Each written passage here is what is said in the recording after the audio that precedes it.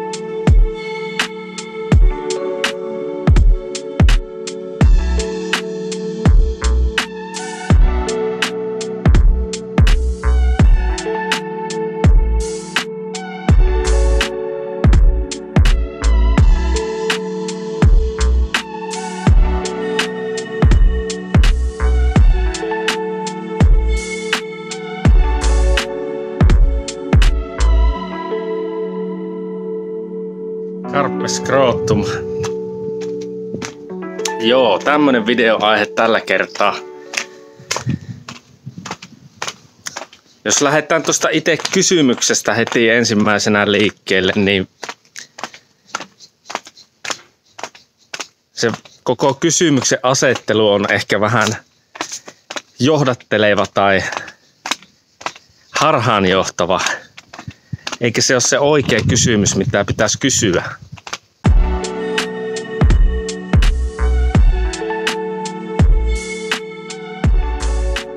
Vaan se oikea kysymys on, että minkä takia ihmiset on ylipäätään. Koska siis tota, eihän se mitenkään pelkästään kristittyille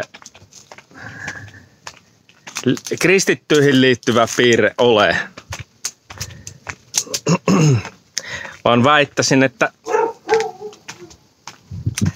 ne on ihmiset ylipäätään, jotka tuppaa olemaan. Ja se, että joku on niin sanotusti kristitty, monet käyttää tämmöistä termiä, että olen pelastettu. Mutta minä en oikein itse tykkää siitä, kun en minä tiedä, onko, onko minut pelastettu vai ei. Että joo, Kristus voi tarjota sinulle sen auttavan käden ja sitten sinä saat itse tehdä sillä mitä haluat. Tai olla tekemättä yhtään mitään. Mutta minusta se ei niin kuin sinua automaattisesti nyt jotenkin pelasta, että sinä liityt johonkin kerhoon ja sinulla on joku semmonen titteli, mistä sinä pidät hirveästi. Mä en tämmöstä titteleistä oikein niinku perusta. Koska se on kuitenkin, no nämä on minun näkemyksiä, että tota, välttämättä kaikki ei aina menee oikein. En ole varsinaisesti mikään oppinut. Mutta kuitenkin mielestäni tässä asiassa uskallan näin sanoa, että se on kuitenkin se sydän, mikä se on se tärkeä asia, mitä sinulla on siellä sydämessä. Eikä se, että tota, miksikään sinä itseäsi kutsut tai miksi muut sinua kutsuvat. Ja se on se, minkä mukaan sinut tuomitaan sitten. Ja eihän kukaan oikeasti voi tuomita edes toista ihmistä. Se on vaan tämmöistä harhaa, että se on se Jumala, joka hoitaa sen tuomitsemisen, eikä me ihmiset. Silloin, jos sä, jos sä tuomitset muita ihmisiä, niin väitän, että sinulla on jonkin asteinen harhaluulo omista niin kuin voimista ja valtuuksista, että mit, mitä sinä täällä pystyt tekemään. Niin. Eli minkä takia ihmiset on... No, minusta kristiusko antaa sille myös ihan hyvän selityksen. Että tosiaan vaikka sinä olet kristitty, niin ethän sinä niin synnittömäksi sillä muutu.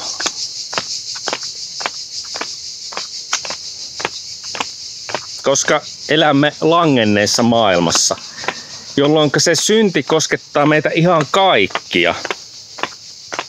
On vain yksi, tietääkseni, henkilö, joka on ollut täysin synnitön. Mutta se ei ole kukaan meistä.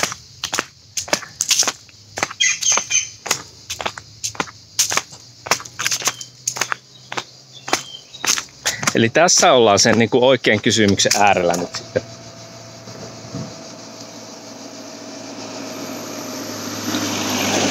Enkä mä nyt halua niin kristittyä jotenkin haukkua, mutta mun mielestä siellä on aika paljon semmoista niin kuin tuomitsemista, ja niin kuin ylimielisyyttä siitä, että kun minä, nyt, kun minä nyt olen kristitty, niin minua ei saa ikinä kritisoida mistään. Kun, kun se on niin kuin jo suorastaan niin kuin rikos ihmisyyttä vastaan tai joku jotain että se on jopa rikos jotain Jumalaa kohta, että jos minua kukaan kehtaa kritisoida mistä, että olen, olen niin pyhä.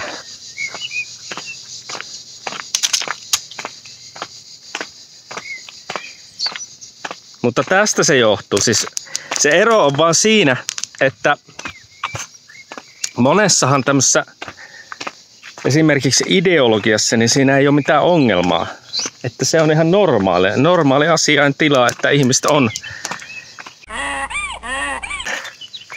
tai niin kuin käytetään ehkä tämmöistä termiä sitten, että ihmiset on eläimiä.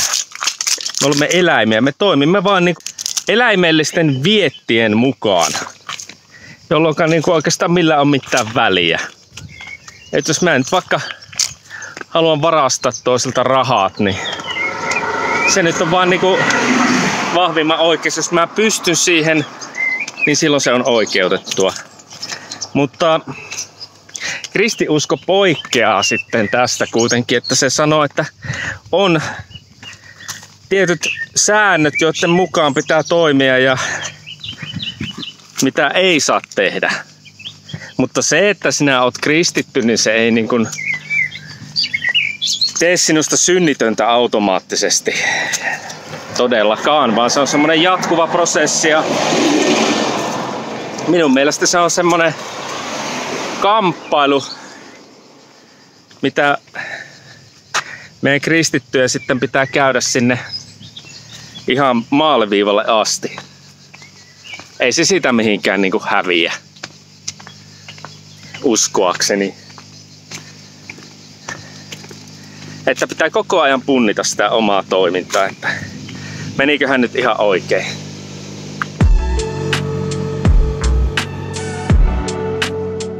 On muuten pikkasen ehkä kuuma ilma. Sisiliskoja on nuo kalliot täällä, kun tykkää tulla kuumalla ilmalla tuohon kalliolle. Suhina käy vaan. Minusta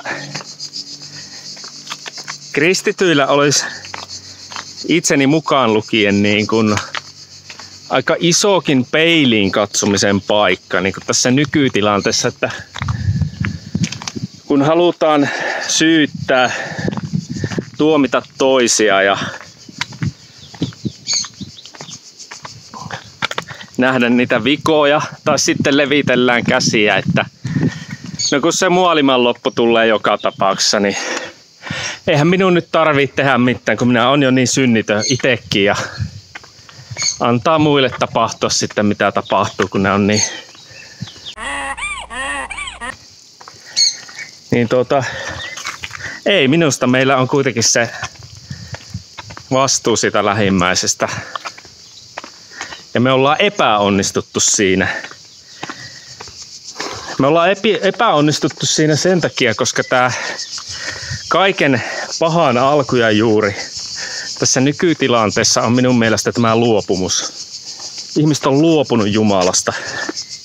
Niin täytyyhän sille nyt sitten joku peruste olla, minkä takia ihmiset on luopunut siitä omasta uskosta.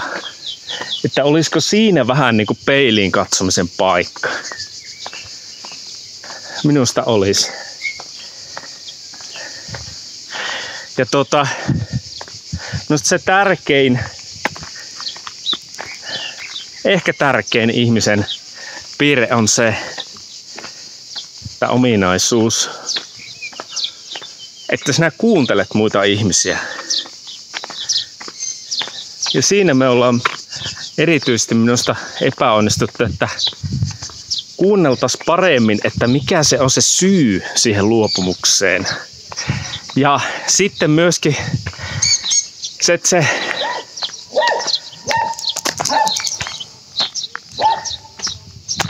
se on semmoinen taito. Mä en tarkoita semmoista pinnallista, että joo, minä kuulin, kuulin nyt mitä sinä niin kuin pintapuolisesti sanoit. Heitit jonkun lonkalta, jonkun ominen on vaan nyt niinku pänni joku. Vaan niinku syvemmin, ennen kuin sinä vastaat mitään, niin on hiljaa. Kuuntele sitä, mitä se vastaus herättää ja esitä lisää kysymyksiä. Se, että kaikkea ei tarvita aina tarvitse aina antaa jotain niin kuin valmista semmoista tota, automaattivastausta, semmoista robottimaista. Vaan se, siinä pitäisi niin kuin oikeasti tapahtua joku prosessi siellä kuupan sisällä. Ja sitten arvioida sitä, että no haluaako tämä ihminen ylipäätään kuulla minulta mitään ehdotuksia tai ratkaisua vai mikä se on. Musta tuntuu, että se tuputtaminen on yksi ja se raamatulla päähän hakkaaminen on yksi iso ongelma, mikä johtaa tähän luopumukseen. Että tota, pitää ymmärtää, että koska myös kristityt, kuten kaikki muutkin ihmistyypit, tuppaa olemaan niin pitää ymmärtää, että ihmisillä voi olla semmoisia aika jopa niin kuin traumaattisia kokemuksia tai tosi vaikeita, hankalia kokemuksia siellä taustalla, miksi ne sitten päätyy siihen luopumukseen. Esimerkiksi tämmöistä jotain ihme kulttilahkotoimintaa tai tai sitä semmoista vainoamista ja vihaamista ja tuomitsemista. Niin ei se nyt mikään ihme ole sitten, että joku ei edes halua kuulla juurikaan, mitä sulla on sanottavaa. Mutta se on kuitenkin parempi tavallaan niin kuin pelin avaus, että sinä vaan kuuntelet ja niin kuin hyväksyt sen ja niin kuin, vähän niin kuin maistelet sitä, että okei, joo, tästä se kiikastaa ja sitten mietit, että kannattaako sitä sanoa siihen hirveästi mitään. Sekin voi riittää, että sanoo vaan, että okei, okay, ymmärrän, ymmärrän. Kuulostaa ihan kauhealta ja varmaan itse olisi ehkä päätänyt tuohon samaan sinun tilanteessa tai jotain tämmöistä. Kunhan se on niin kuitenkin myös aitoa.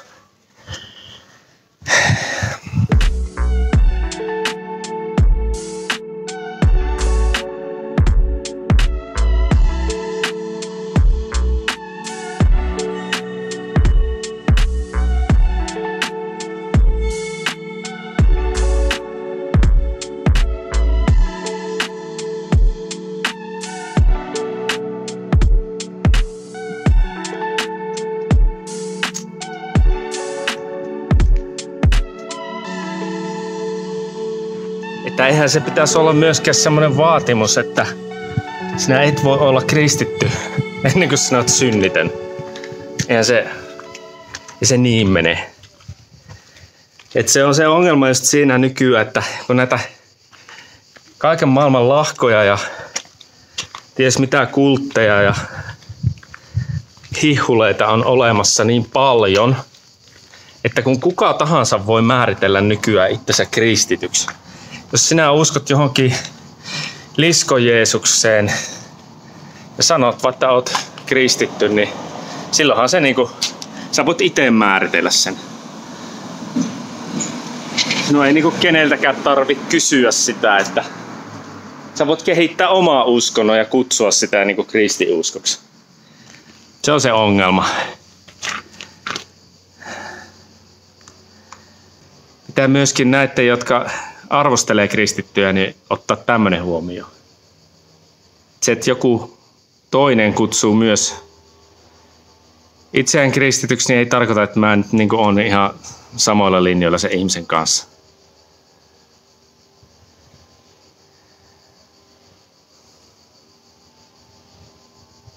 Joo, eipä tässä muuta, niin tota, moi.